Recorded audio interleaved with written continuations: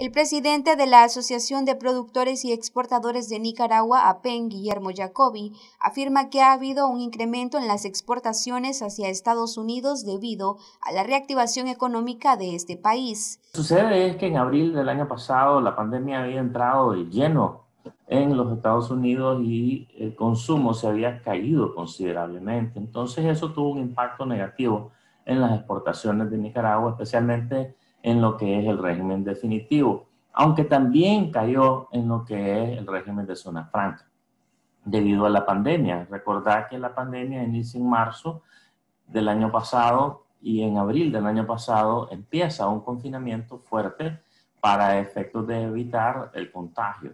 Entonces, obviamente, eso impactó fuertemente el consumo del estadounidense.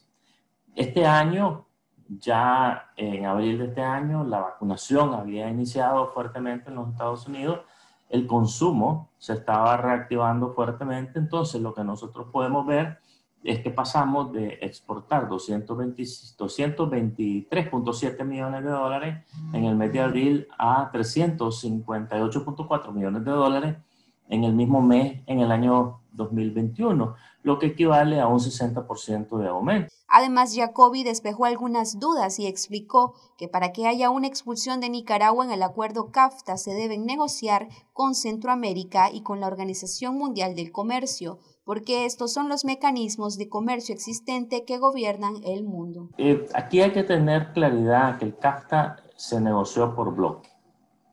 ¿Verdad? Entonces, eh, lo, negoció, lo Centroamérica, no lo negocia Nicaragua.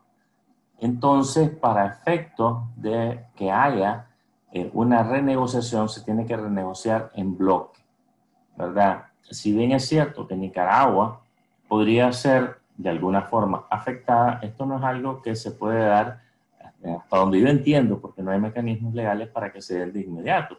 Es decir, eso tendría que llevarse a la Organización Mundial de Comercio, en donde tendría que empezar a decir Nicaragua tiene que salir, porque esos son los mecanismos de comercio existentes que rigen el mundo. Entonces, eh, en realidad, cuando hablamos nosotros del CAFTA, hay toda una serie de mecanismos legales a nivel mundial que tienen que ser aplicados. No, hasta donde yo entiendo, no se puede borrar de un plumazo el CAFTA, Aún si nosotros fuésemos afectados, no estamos hablando de un bloqueo económico. Estamos hablando de que algunos rubros se van a ver afectados. Por ejemplo, el café no se va a ver afectado. ¿Por qué? Porque los Estados Unidos no producen café. Entonces eso lo que había que hacer es analizar rubro por rubro. Para Noticias 12, Gabriela Solórzano.